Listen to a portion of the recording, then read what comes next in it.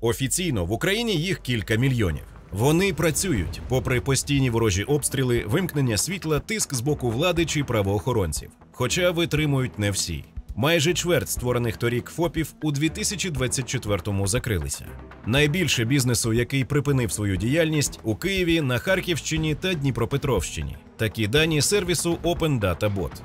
Тепер бізнес, який не знищили виклики, ділять на білий і чорний. Верховна Рада прийняла закон про клуб білого бізнесу. За 263 рішення прийнято. Закон ухвалено в цілому. Голова податкового комітету Верховної Ради Данило Гетманцев назвав переваги платників податків, яких внесуть до клубу білого бізнесу. Тут і мораторій на документальні перевірки, бухгалтерські документи, реєстри, договори не інспектуватимуть. Індивідуальні податкові консультації відбуватимуться протягом п'яти календарних днів.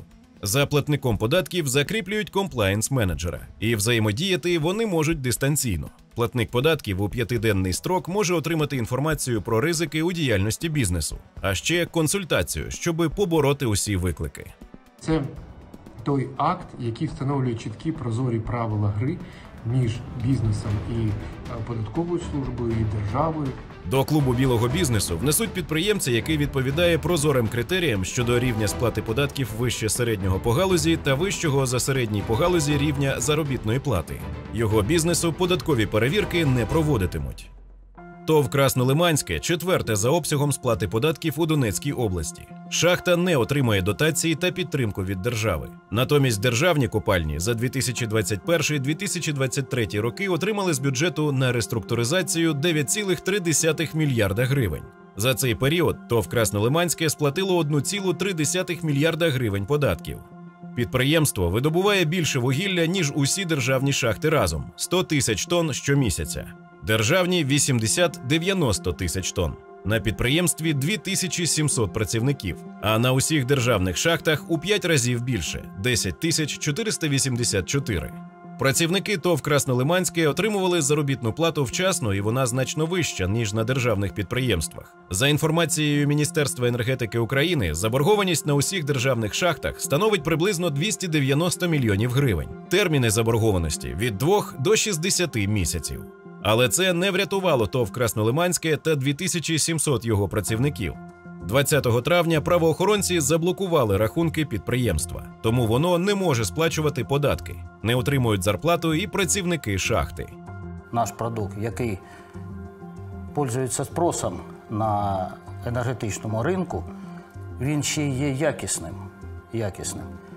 Із затриманням заробітної платні, заробітної платні ускладнюється ситуація е, не тільки в нашому регіоні е, з нашими працівниками, з нашими е, містами, які, з яких на підприємстві працюють люди.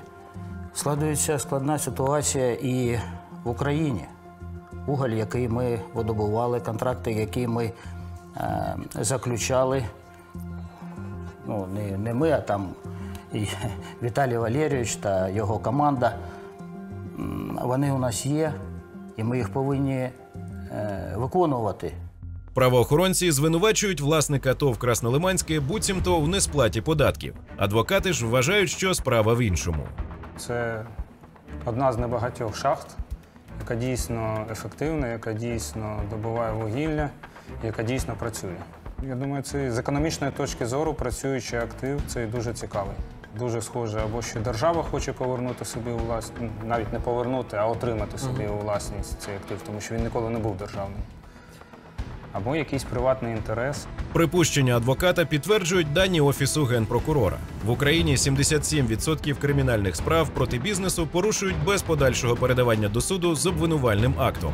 Цей показник сягнув історичного максимуму. У січні-жовтні 2023 року лише 23% кримінальних проваджень у галузі господарської діяльності доходили до суду з обвинувальним актом. Це на третину менше ніж у попередні роки. Протягом жовтня-грудня 2023 року Рада бізнес-омбудсмена отримала 337 скарг компаній щодо недобросовісної поведінки державних органів і закрила 220 справ. Податкові питання бізнесу очолюють рейтинг скарг до ради і становлять 61% від усіх звернень.